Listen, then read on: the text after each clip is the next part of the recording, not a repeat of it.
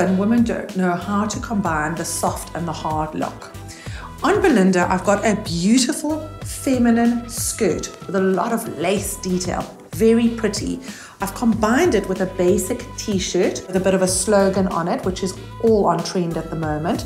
And then the jacket is got a very military influence to it, quite masculine, but it works really well with combining the feminine skirt and the masculine jacket. And then I've teamed it with a pair of sneakers, which just gives the whole look a street style edge.